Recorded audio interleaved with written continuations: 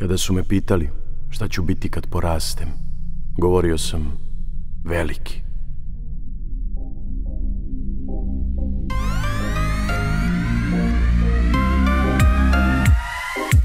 Ja sam Miki.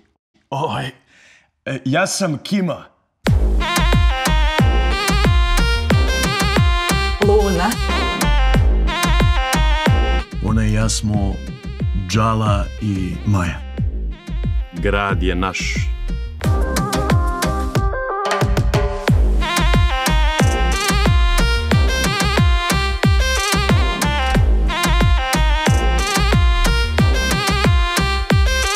E, a da nismo malo preterali s ovim Rolexima? Da me boli kurac kod ovi nose pravi Versace.